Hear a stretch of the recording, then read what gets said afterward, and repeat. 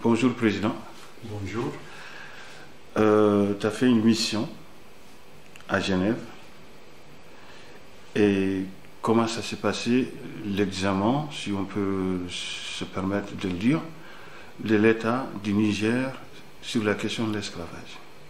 Ok, merci, euh, cher frère Hanoun, euh, de cette occasion que tu m'offres pour vraiment faire un compte rendu ramassé de notre mission ici à Genève. Donc, notre travail a consisté des jours du 11 et 12 avril sur les rapports alternatifs.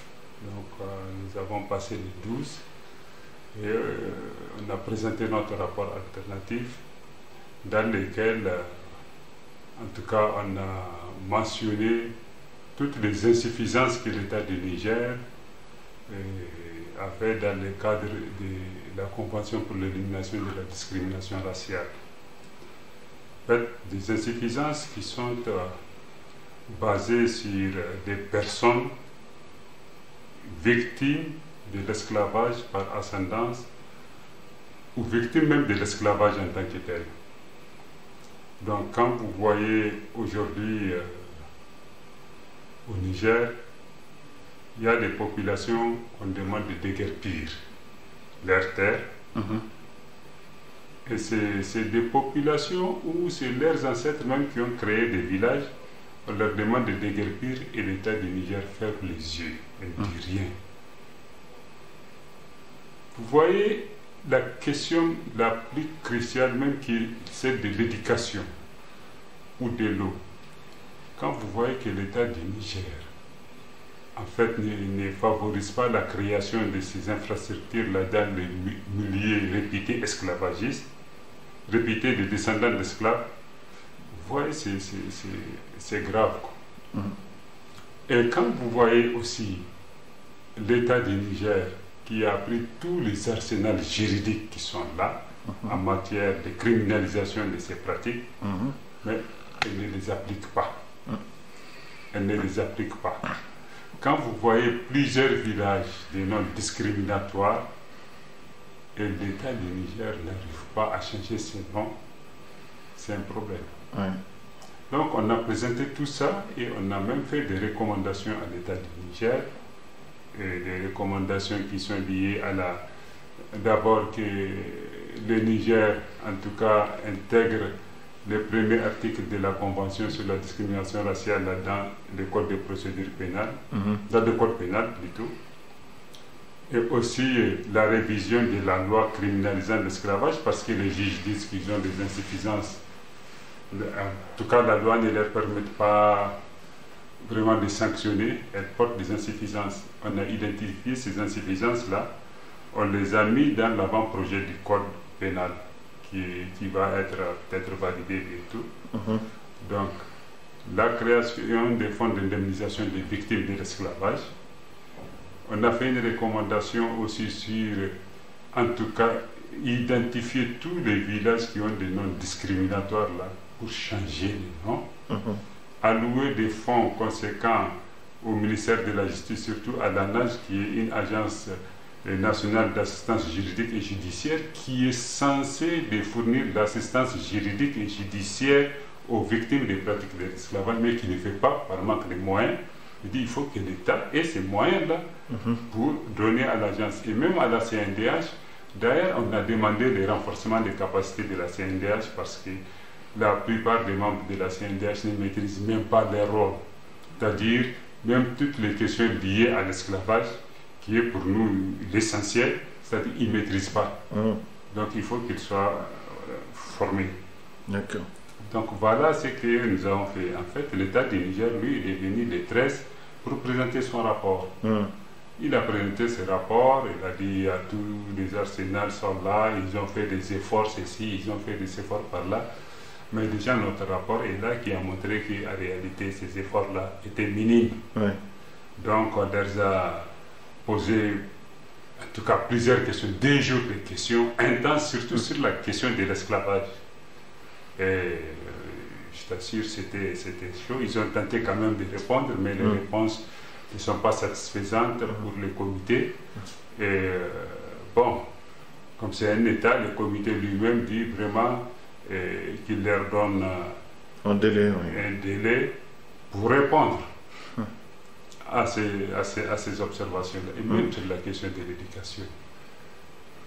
Quand on dit que euh, un représentant de l'État dit que l'État crée des écoles communautaires, alors tu vois que ça c'est une titivation, Mhm. parce que l'État ne crée pas des écoles communautaires, elle crée les écoles classiques. Oui. Les écoles communautaires, c'est nous qui les créons. Parce que les écoles communautaires, c'est quoi? C'est des écoles que nous créons dans les villages où l'État ne crée pas d'école. C'est-à-dire les villages des descendants d'esclaves et autres, où il y a la cantine scolaire, il y a la pharmacie scolaire, il y a le soutien aux parents, c'est-à-dire les mères et les Mm. enfants. Ça, l'État ne le fait pas. Mais il est titubé pour dire qu'il crée des écoles communautaires, alors que tu sens qu'ils sont vraiment. Et je vois, j'ai entendu un député de l'État qui dit clairement que les questions de l'esclavage au Niger, les pratiques esclavagistes sont des pratiques isolées. Alors, des choses qui sont là, qui sont écrites dans les rapports, mais quand on lui a rappelé ça, aussi il croise les bras et regarde. Donc, tu vois, ils, sont, ils sont arrivés à- à des limites. Il n'y a pas de volonté politique. Ce n'est même pas de volonté politique, c'est des limites.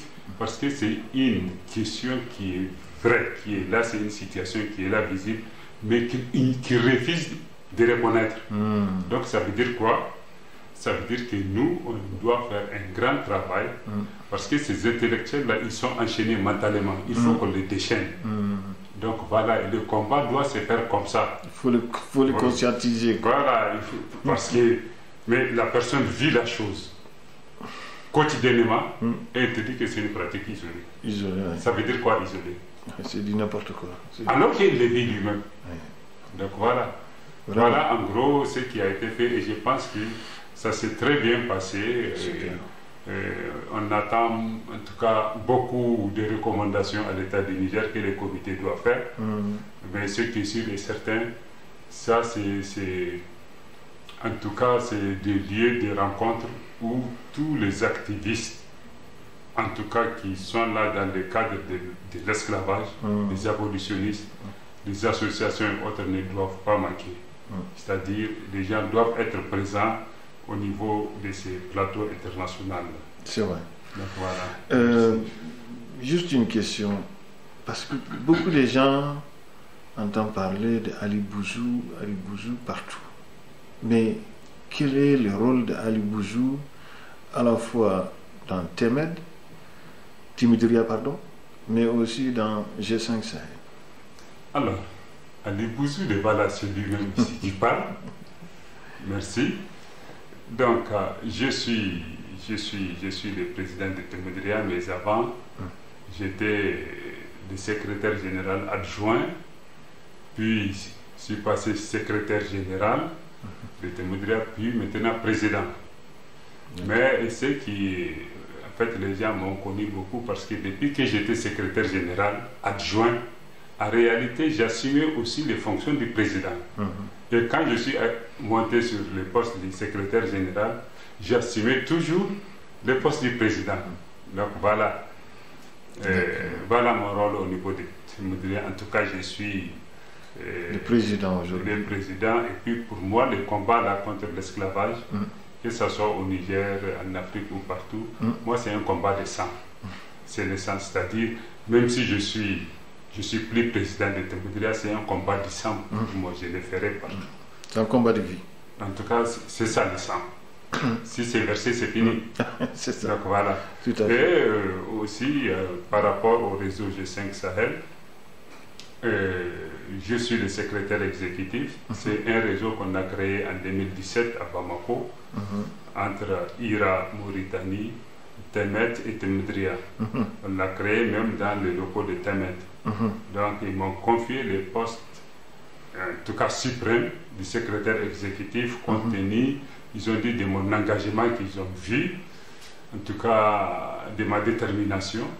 Donc, ils ont préféré que, que je gère ça. Bon, après plusieurs années aussi, j'ai essayé de voir si on peut changer. Ils ont dit non, on ne va pas changer. C'était à la réunion de Niamey en 2019. Mhm. Ils ont dit non, non, non, non, vas-y. Mhm. Donc voilà, jusqu'à présent, je suis là, secrétaire exécutif du réseau G5 Sahel de Très bien. Tout à l'heure, vous m'avez parlé, vous avez fait un plaidoyer qu'il faut réunir en réalité toutes les synergies qui combattent l'esclavage. Parce que vous trouvez qu'il n'y a pas assez peut-être de dynamisme ou de soudure entre les gens. Bien sûr. D'ailleurs, c'est pour cela que j'ai voulu faire, euh, euh, j'ai voulu rencontrer les abolitionnistes qui sont ici en Europe, Mhm.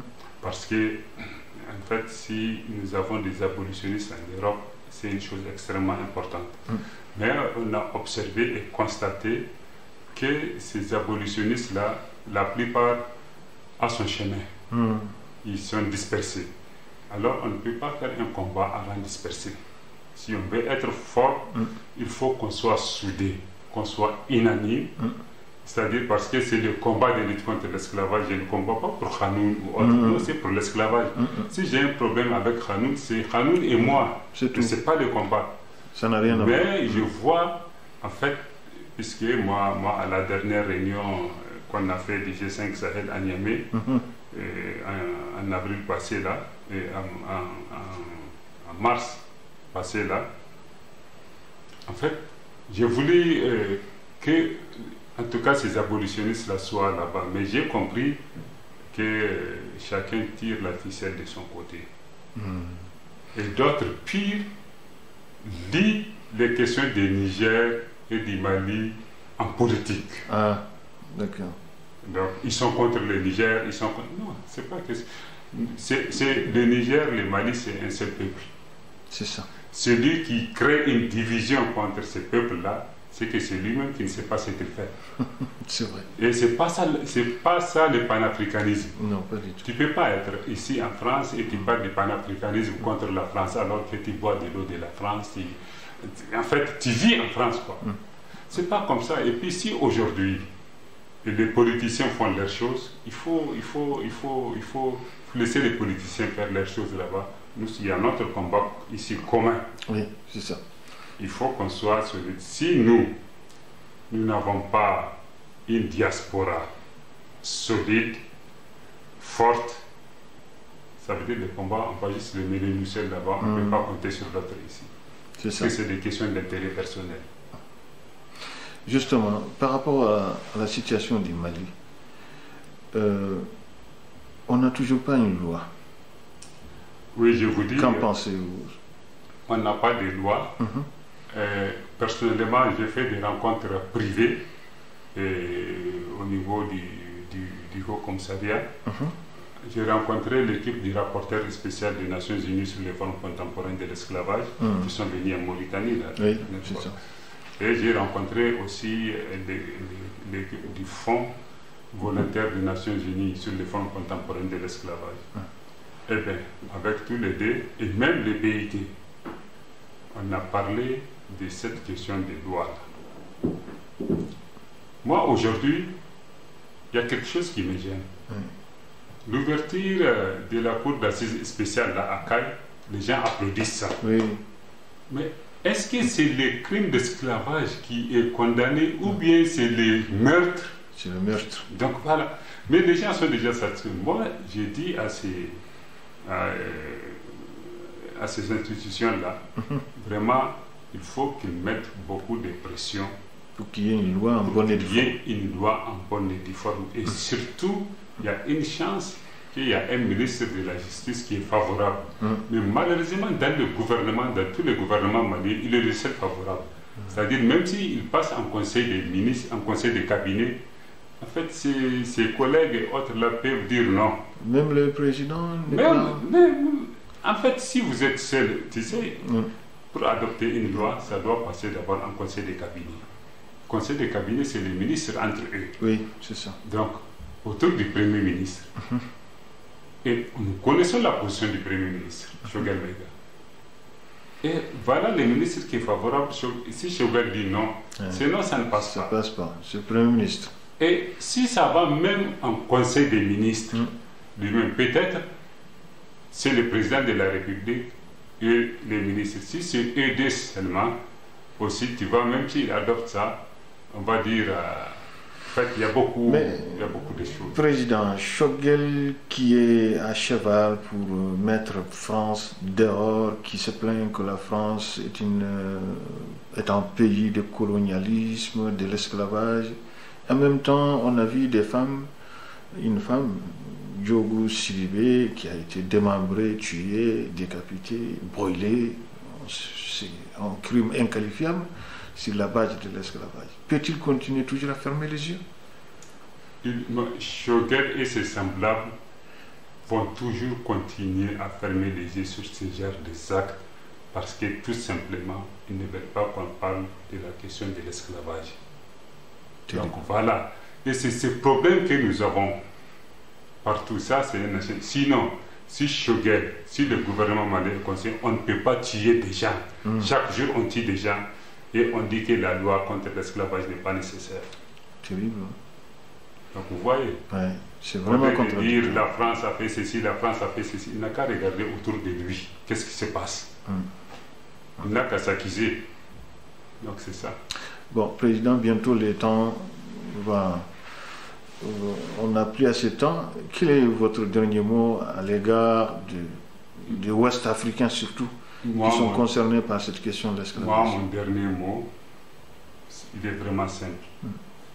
Il faut que tout le monde s'engage, c'est-à-dire entre les activistes et abolitionnistes qui sont là en France, d'élever leur, de, d'élever leur rancune là qu'ils ont entre eux pour venir qu'on travaille ensemble, main dans la main, pour venir à bout de ces phénomènes, ou bien contribuer à mettre fin à ces phénomènes. Ça. Déjà, nous, on est fragilisés parce qu'il y a un gouvernement qui ne nous soutient pas. Quand tu prends le Mali, Mhm, c'est un gouvernement qui ne nous soutient pas, vraiment. qui ne soutient pas les combats.